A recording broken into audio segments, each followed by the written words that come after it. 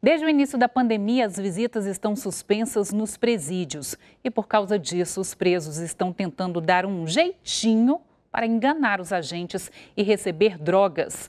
Quem vai contar para a gente os detalhes é o Ricardo Soares. Ricardo, o que está acontecendo? Boa tarde. Aline, boa tarde a todos. Olha, como ninguém pode mais entregar aí alimento, produto de higiene, em portaria de presídio, como se fazia antes da epidemia, o pessoal viu que pode entregar encomenda pelos correios. E é aí que entra a malandragem, a tentativa de burlar o sistema. Um pente fino feito por policiais penais nas encomendas que chegam por SEDEX tem revelado uma série de situações curiosas e criminosas. Veja só, tem sabão de coco, por exemplo, com aparência mais inocente, recheado com maconha. Se não cortar, não tem jeito de desconfiar. Eles vão cortando, desembalando e a droga vai brotando. De sabão mesmo, só tem a casca.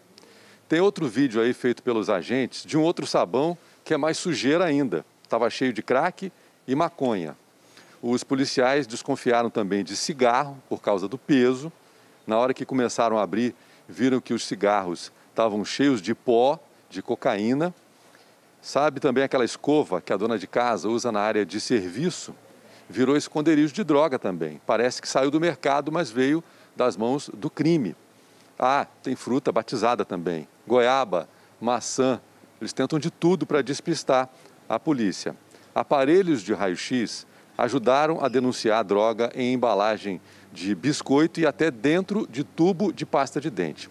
Esses flagrantes foram feitos em unidades penais espalhadas em várias partes de, de Minas Gerais a Secretaria de Justiça e de Segurança Pública de Minas faz questão de ressaltar que esses casos são exceções e que a maioria das famílias faz uso desse sistema de entrega pelos Correios de forma correta dentro da lei. Aline. Nossa, quanta audácia, né?